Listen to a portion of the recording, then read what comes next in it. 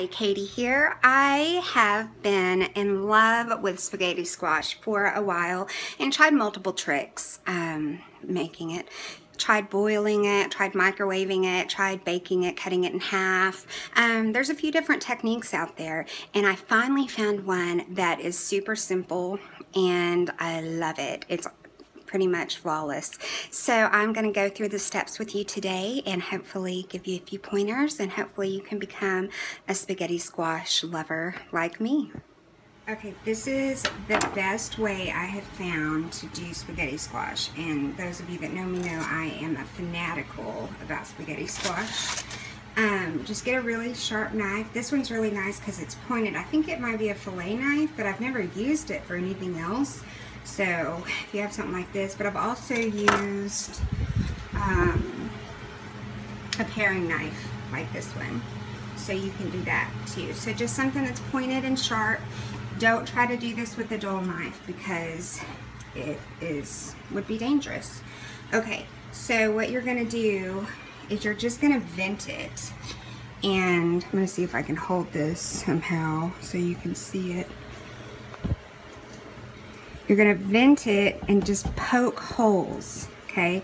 Now normally I do this with two hands so it makes it easier, but you just poke it in, get down, you can feel it, it gets, you go in and then it feels kind of softer. That's when you know you've gotten down into the center. That's important because you want to vent it. Otherwise it's gonna explode and that would be a mess. So you just do that all the way around. As you can see, I've done three holes here. Um, and I've done some holes over here and I'm going to continue to do this. I need to get this little side. But, you know, you don't have to put a million holes. I do, you know, they have these ridges, some of them. Some of them are more smooth, but this one is really nice because you can kind of say like two to three holes per little ridge. Um, that's kind of how I measure it. And I just kind of do it sporadically. I don't want them all in the same place. And then we'll go to step two. Before we go to step two, I want to show you how I normally do this with two hands. Now you see, I have it with one hand, I'm holding it. And I'm holding it pretty far. I don't want to cut that bottom hand. I'm just doing a little knife safety here. and then I will, I'll hold it with one hand and then with this hand, I'm putting it in, okay? And then I hold it and see if I can do a magic trick with my phone. Don't do this at home, children. Let's see. Okay, can you see? Then you kind of wiggle it, but notice my finger right there that's the dull end. So this thumb is out of the way. It's not going to get hit by this sharp end. This thumb is out of the way. This finger is here. Okay. So then I kind of wiggle it out. Okay. I know that was not the best video cinematography there, but it's hard to do it when you only have two hands and you need three, but that's basically how it is. I'm going to finish doing this one and then we will get to, to part two. Okay guys, I am completely done with my poking holes. Now I don't like to keep these little stickers on, but this little bugger, I don't know, they use like, I don't know, super glue or gorilla glue or something. So it doesn't really matter. It is going to be on the outside. We don't eat that part anyway, so it's all good. So what I'm doing is I have a baking sheet here and just some parchment paper. You want to put something down because there will be just some liquids that come out of it. All right. Um, just lay them there, no big deal. I have my oven preheated at 375 as you can tell. So I'm going to put them in the middle rack at 375 for 45 minutes. At that time we will flip and that will be the next section. Okay, it is time for part two, or part three I guess, of our little cooking lesson here about spaghetti squash. The timer just went off, so we're actually gonna set it again for 45 minutes. I know it seems like a lot of time, but you'd be amazed at how much you can get done in 45 minutes. So I will go and, you know, take a shower and then it, it'll be um, by the time I finish my hair after the shower, it'll be 45 minutes. And so I'm like, awesome, okay, go flip the squash, you know? So it really goes by fast and it gives you an opportunity to not have to be sitting there and watching the timer, watching the clock, watching the squash. Okay, so we're looking at them. They look like normal spaghetti squash. They are a little bit more shiny because they are letting off some of their water. So what we're gonna do is we are gonna flip them. You are definitely gonna wanna use your handy gloves for this. So what we're gonna do is I'm gonna put on my gloves. So in case you haven't guessed, I don't have my makeup on yet. That's why you don't get to see my face today. But you know, maybe later. All right, I need to go take the shower in the next 45 minutes. Okay, so I'm gonna put you down, pause and I'm gonna flip these bait. Okay, so as you can tell, they are still, you know, there's a little bit of a brown thing right here where they were laying, so they're cooking up nicely. They smell delicious. Like part of me wants to cut into them now, but they would not be near as yummy. So we're just gonna slide them back in there for another 43.3 seconds and I will see you soon. Okay, so we have just pulled these out of the oven. They are soft. They're, you know, not super soft, but you can tell I can kind of squeeze them. They're hot, hot, hot, hot. Um, but they're much softer.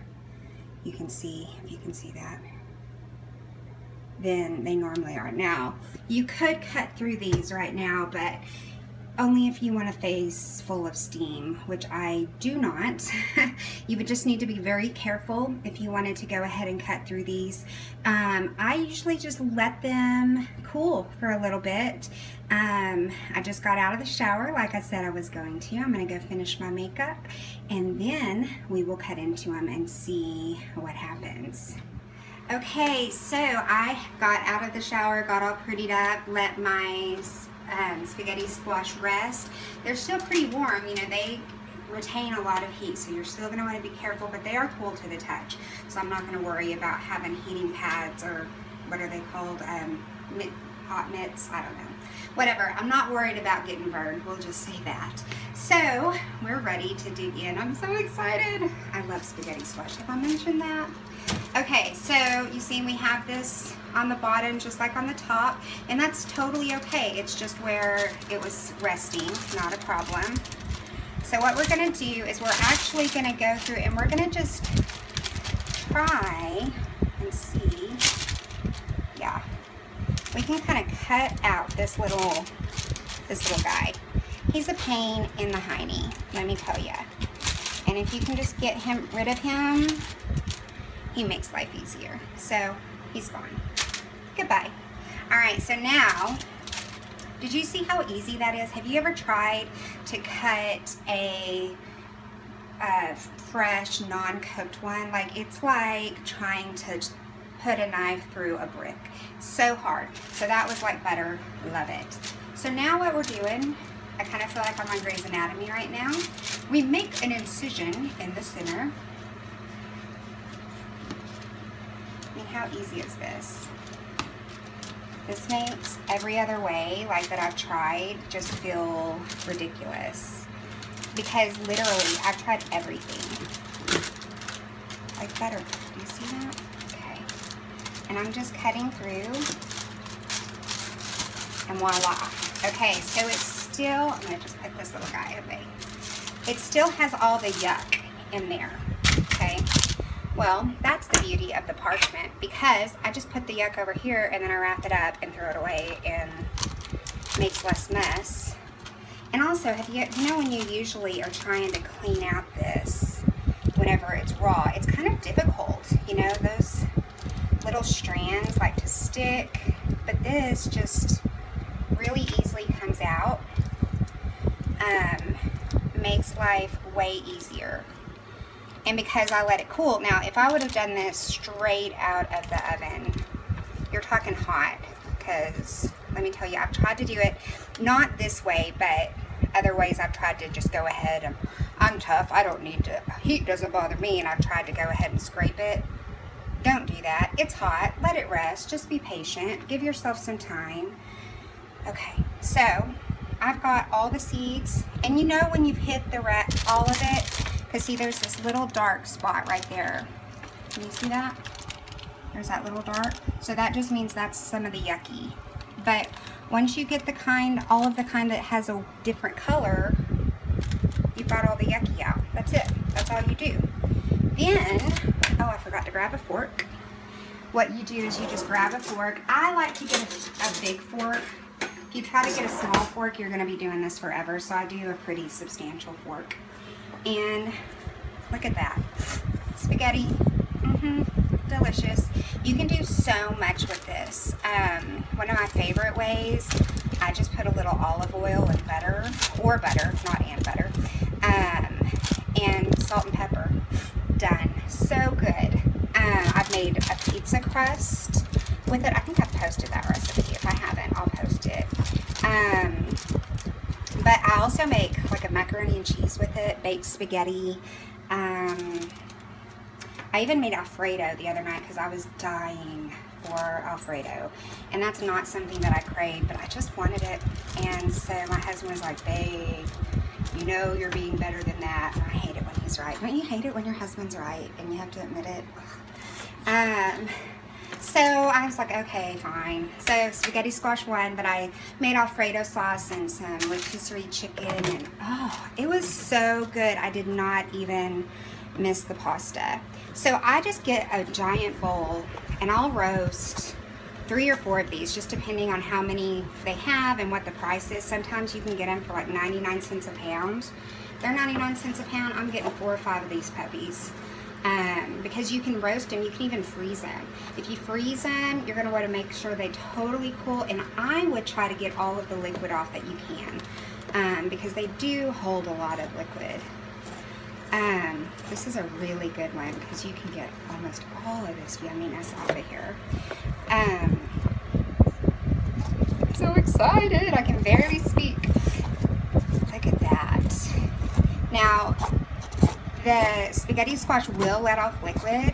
That's okay. Just drain it off. In fact, a lot of recipes like the pizza recipe that I have, you have to drain it. And so sometimes I even will put it into a colander like this and let it naturally drain and then squeeze it off. That is it. That's all there is to it. Delicious pasta substitute, so yummy, so many options. I've even heard of making it into like a dessert. I haven't done that, but I'm willing to try it. Um, totally clean shell was so easy, way less mess. So I'm just gonna keep doing this, wrap it up, throw it away, all in one. Less mess, easy, delicious. Dinner's done. Okay, I hope you enjoyed my crazy photography. Hopefully, hep, la la la. Thankfully, my mom was able to do this last section so I could have use of both of my hands.